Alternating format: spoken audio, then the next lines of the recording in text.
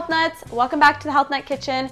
To continue with the detox um, theme for January, I thought I would share with you guys this vibrant detox soup. I actually made this soup for the first time late last summer, which seems so far away now that it's winter time.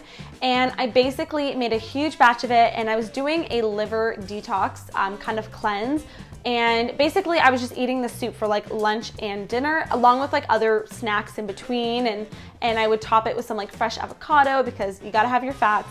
And I did the cleanse for like five days. It felt really good to kind of reset my system. So I thought it'd be great to share this recipe with you guys for the month of January.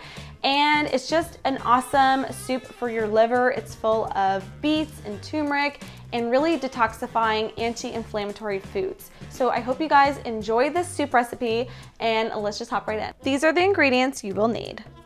Broccoli, carrots, beets, parsley, cilantro, savoy cabbage, ginger, lots of garlic, onion, olive oil, lemon juice, and for spices, you'll need some bay leaves, sea salt, turmeric, cayenne pepper, and some black pepper.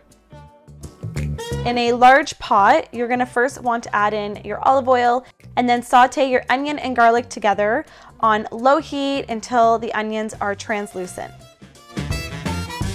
Next, go ahead and add in all your veggies, your beets, carrots, cabbage, broccoli, fresh herbs, fresh lemon juice. I love this squeezer. I will link it down below. I swear it comes in handy all the time because it just catches all of the seeds that fall out when you squeeze lemons.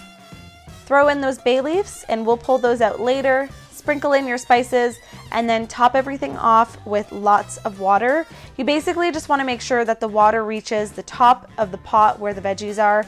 I will have the full written recipe over my blog, healthnutnutrition.ca. I will link it down below. And it may be a bit full, but you just kind of want to squish the veggies down, give it kind of a stir, and then you want to just bring this up to a boil and then once it's boiled, give it a good stir, pop the lid on, and then lower the temperature to like low medium heat just to simmer for about 30 to 40 minutes. Once cooked, you can take the lid off, take out those bay leaves, and then this is what it should look like. You should have a nice ruby red rich broth full of antioxidants, so detoxifying. It's so good for your liver and your skin. Your body will just thank you every time you eat a bowl of this soup.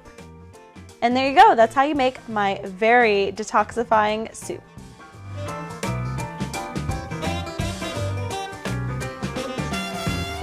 So that's how you make my very vibrant detox soup recipe. I hope you guys try it out for yourself. Maybe do it like five days in a row like I did, or you can just freeze it and have it whenever you guys like.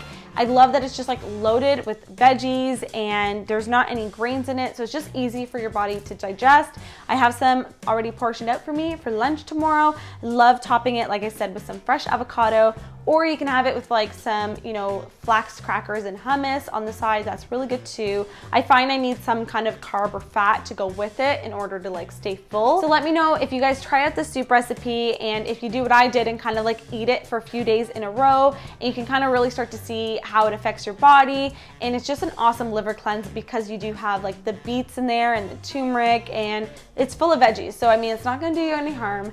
Give yourself a good detox for the month of January and enjoy some detox soup. So thank you so much for watching guys. Give this video a big thumbs up if you like healthy recipes and you wanna see more like this.